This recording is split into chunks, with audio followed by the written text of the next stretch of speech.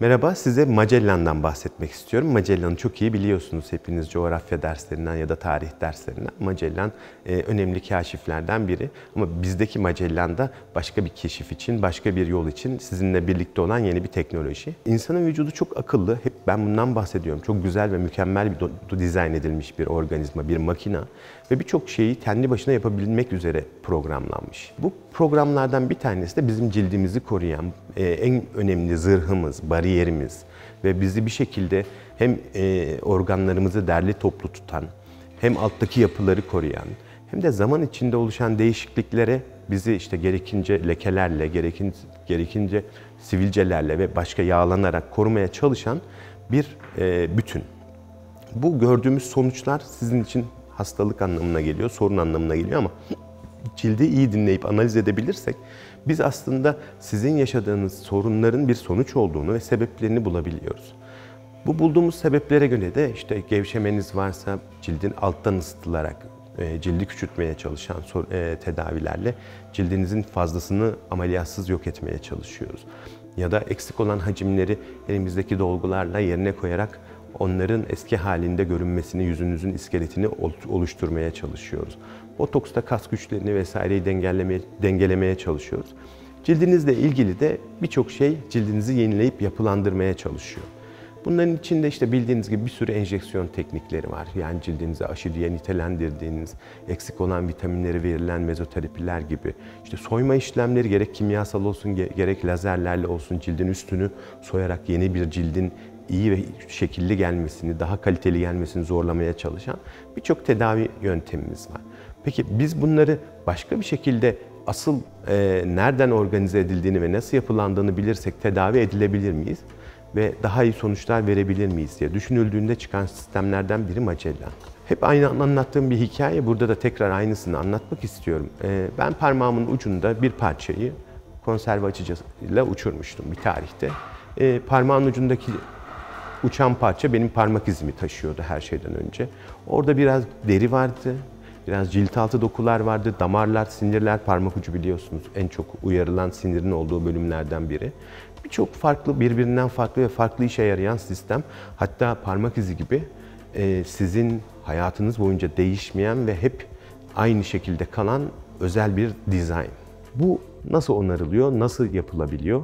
E, şu anda parmağımda hiçbir sorun yok eski halinde. Bunun için herhangi bir tedaviye, herhangi bir kodlamaya, herhangi bir desteğe ihtiyaç olmadan benim cildim bunu yapabiliyor mu? Yapabiliyor. Magellan'ın gelişi de buradan. Yani bunu nasıl yapıyor, kim yapıyor, nereden bulup yapıyor, nasıl biliyor?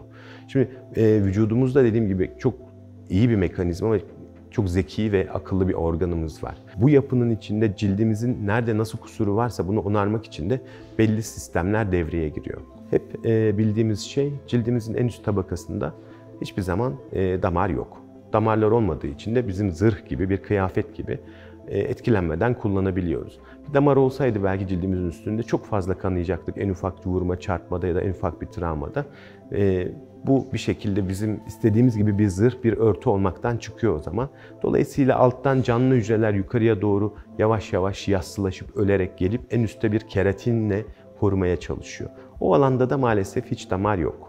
Bu damarların olmaması da bizim işte cildin yaşlandığımız kalitesiz olan kısmında bizim iyileşmemizi çok iyi beceremiyor. Çünkü bütün sistemler, vücutta dağılımı işte kan olsun, oksijen olsun ya da atıkların geri temizlenmesi olsun kan yoluyla. Mantık şu, biz oraya kandaki o onaran akıllı hücreleri koyarsak acaba o bizim ulaşamadığımız bölüm yeniden onarılır, kendini toparlar mı? Nasıl benim parmağımın ucunda kopardığım parça gibi. Evet bunu biliyoruz zaten. Bunu yapabilen sistemler var. Bunlar bizim kanımızdaki büyüme faktörleri. Özellikle de trombositlerin içindeki büyüme faktörleri. Niye trombositlerin içine konulmuş bu? Ee, bunun da bir mantığı var. Eğer bir yerde bir kanama başlıyorsa orada bir cilt hasarı var demektir. Bu hasarı durdurmak için o kanın durdurulması gerekir önce. Ama kan durduğunda da o bölgedeki hasar iyileşmeyip onarılmayacaktır. Dolayısıyla trombositler orada hem bir tıkaç görevi yaparken hem de oraya iyileşmek için kim lazımsa hangi alt dalda işte damar mı yapılacak, sinir mi yapılacak, parmak izi mi yapılacak, cilt mi yapılacak bunu çağıran özel hücreleri çağıran kodlara sahip. Büyüme faktörü diyoruz biz bunlara. Magellan bizim bu büyüme faktörlerimizi bugüne kadar elde edebildiğimiz sistemlerin yaklaşık 14-15 katına kadar tek seferde elde eden bir sistem. Peki biz bu e, trombositleri bugüne kadar nasıl elde ediyorduk? Bugüne kadar elde ettiğimiz sistemler basit santrifüjlerle kan hücrelerinin yoğunluklarına göre bir sıralama yapıp trombositlerin yoğun olduğu katmandan manuel olarak o döngü sonrası ağırlıklarına göre bir alanı çekmek ve orada trombositlerin yoğun olduğumuz bir alana enjekte etmek. Peki teknoloji burada ne işe yarıyor? Magellan burada başka bir şekilde e, optik lazer okuyucularla sizin o kanınızdaki gerçekten o hücreleri bulup bize veriyor. Yani hem e, sayı olarak biz miktar olarak 13-15 kat kadar sizden fazla hücre alıp bunları ayıklayabiliyoruz. Hem de bu hücreleri özel optik sistemlerle de tek tek tanımlayarak ve içlerinden seçerek alıyoruz. Dolayısıyla sizin e, daha önceki bu büyüme faktörleri, PRP'lerle aldığınız sonuçların yaklaşık birkaç katı değil 10-15 katı kadar hücre ve kaliteli, anlamlı hücre sizin yüzünüzde onarım yapmak üzere seçiliyor ve toplanıyor.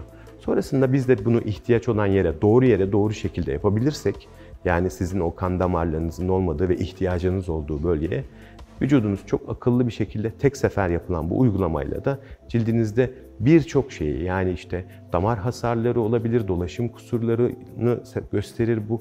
Onun dışında lekelenmeler olabilir, oradaki bir eksiklik olabilir. E, bütün kusurları tek tek dediğim gibi parmak izine kadar yapabilecek şekilde bütün detayları yeniden yüzünüzle ilgili, cildinizle ilgili en üst tabakadaki bütün kusurları düzeltip tedavi etmek için getirilen yeni bir teknoloji.